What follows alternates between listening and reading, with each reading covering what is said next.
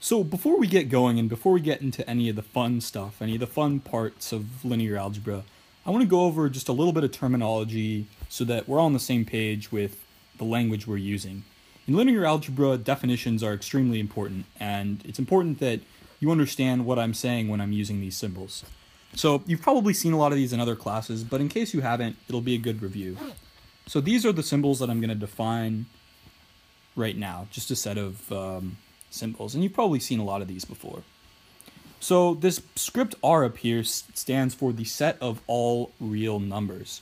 And this could be anything from 1 to 2, so integers would be a subset of this, to numbers like 1.7, or rational numbers such as 4 divided by 3, um, to even irrational numbers such as pi.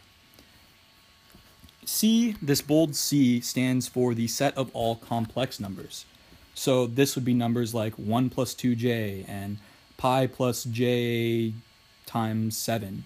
Um, so this would have a real part and a complex part. Moving on, Rn stands for the set of all vectors that contain n elements. And these elements have real entries. So the way I say it is the set of all length n vectors of real numbers.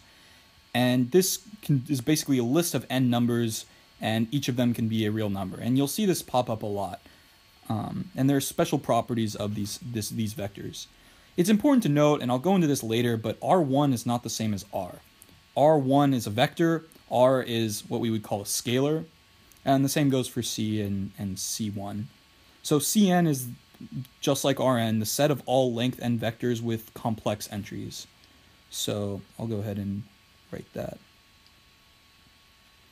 So when we talk about Rm by n, this is a set, this is a matrix, and I'll go into more details about this in a bit, but this would be the set of all matrices with m rows and n columns. And this can get a little bit confusing that the m is first, but that actually describes the number of columns, which is like kind of vertical, so it's not like your x and y coordinates. It, it can be a little bit confusing. And these are actually vectors too, and I'll get into what a vector is in a bit but I define this as a set of all matrices with m rows and n columns with real entries. And that's to be differentiated from uh, C m by n, which is the set of all matrices with m rows and n columns with complex entries. And actually, I'm going to take the time right now to adjust my definition of Rn to just to be consistent to be the set of all length n vectors with real entries. So I'll go ahead and do that. And then, of course, Cn is the set of all matrices with m rows and m columns with complex entries. Now these last three are symbols you've probably seen before. Um, this backwards E is means there exists.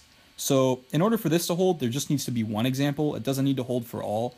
So for instance, you can see a bunch of ducks, and if all the ducks you see are white, and then there's one black one, you can say there exists a duck such that the duck's color is black. So basically it's just telling you there's at least one and no upper bound on how many there could be. Uh, this upside down A, on the other hand, stands for all. So this would mean that it would have to hold for every single element of the set. So for instance, if I say, for all ducks, there exists two feet on the duck, then that would mean that all ducks have two feet. Now, of course, I'm sure there there's a duck out there with one leg. So generally, these things occur much more often in mathematical definitions than they do in real life. I mean, after all, what is the essence of a duck? But for now, um, these two symbols, and, and you'll see them being used a lot, basically are just qualifiers for at least one existing and then it um, holding for everything. And actually, you'll see these even more. You'll see, for instance, this E with a slash through it, meaning there does not exist.